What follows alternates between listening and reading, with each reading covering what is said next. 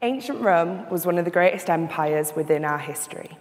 To be Roman was to be elite, and to succeed in Rome was to immortalize yourself. Three men of ancient Rome sought to do exactly that Ovid, Cicero, and Seneca. They all lived 100 years apart from each other. They died in really different ways. Uh, they lived under different political rulers, different political regimes. So it seems like they don't really have a lot in common except for the fact that at the height of all their careers, they were exiled. When you're exiled, it's sort of like removing the naughty kid from the classroom.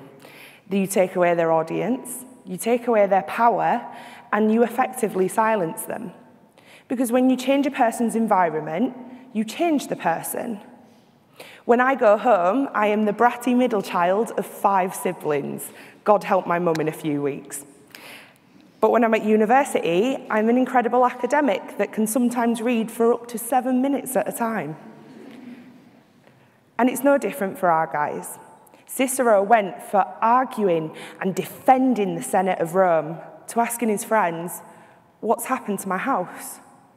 Ovid went from writing great epic love poetry that'd just make you want to fall in love to writing four books entitled Sadness. Seneca went from writing massive, incredibly weird, tragic stage plays that'd make you thank God Freud wasn't around, um, to asking his friends, How's my mother doing? I really, really, really miss her. Because when you change the environment, you change the person. And it was like that for these people.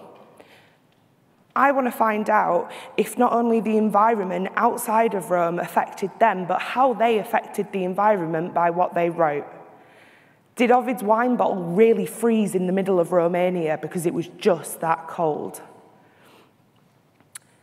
Did Seneca really struggle not having a city, but he was exiled to an island that had an identical climate to Rome? Was it really, really, really difficult for Cicero to choose how to leave Italy, knowing he had to just leave? See, these questions require a scientific answer. And science and art can walk hand in hand when we dare to ask these questions of each other. Because our environment's changing. So, how are we going to change with it?